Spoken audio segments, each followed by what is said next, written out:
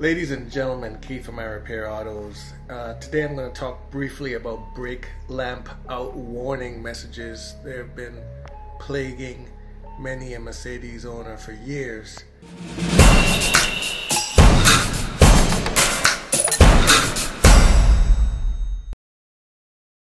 I have a video up here showing you exactly how to do a conversion. Mercedes sells that um, harness part description down below. But uh, what I want to talk about briefly tonight, this morning, this afternoon, wherever you are in the world um, today. Once you've done the uh, upgrade, once you've gotten the new harness, you've spliced it in, you've connected up your bulbs, one of three things may happen. The first one is, and the one that you hope to see, is everything's going to work as it should. Bulbs are going to be out They'll come on when you press the brake uh, pedal, and when you release the brake pedal, they'll go out. And uh, your message in your cluster will be gone.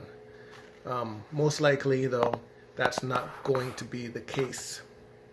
It's going to continue to say brake lamp out. Warning, your brake light bulbs will stay on. Sometimes they stay off.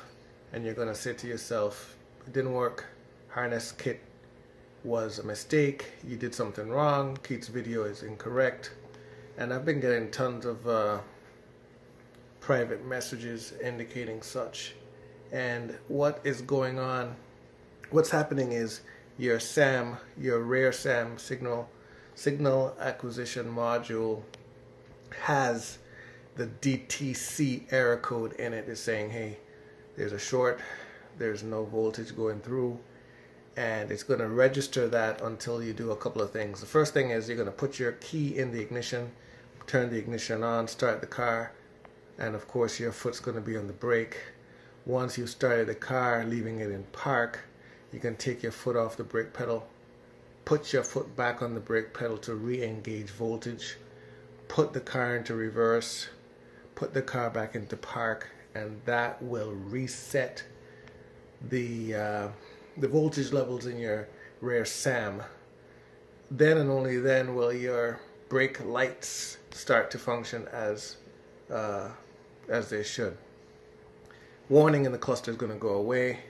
Brake lights will operate as um, intended, and you will be happy. Um, a couple of other things. Your bulbs, um, what they the, the real problem is that there was not a sufficient um, there was not a sufficient um, connection to ground. So what was happening is all that voltage was going to the bulb.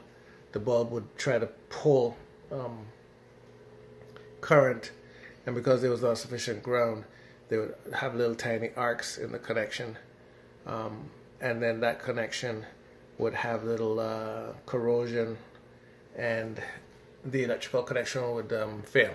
Anyway, just wanted you to know that needed step. It's not in the original video. I also have another video uh, right up here that's talking about and showing you how to convert those rare um, incandescent bulbs to LED bulbs. Alright, those LED bulbs will last twice, three times, ten times as long as the regular bulbs. They're not going to vibrate and break um, the filament that is. And uh, they last a long time. However, you're going to need a resistor on each bulb because uh, the LED bulbs don't draw as much amperage as the older bulbs and it will register the same similar message um, bulb lamp out anyway hopefully this clears that up I've been getting like I said earlier, tons of messages asking what to do next. Um, hopefully, this clears that up. And uh, let me know if you have any questions down below. And uh, just uh, hopeful, hope that everyone's doing well. I just hope that everyone's doing well. And let me know um, what video you'd like to see. New video every Monday. Don't forget to like, share, subscribe. Thanks for watching. As always, everyone, don't forget to like, share, subscribe to my channel if you find these videos helpful. what that does, it pushes my videos up in the search results so that other Mercedes owners, drivers, do-it-yourselfers can find them easier. Thanks and peace out.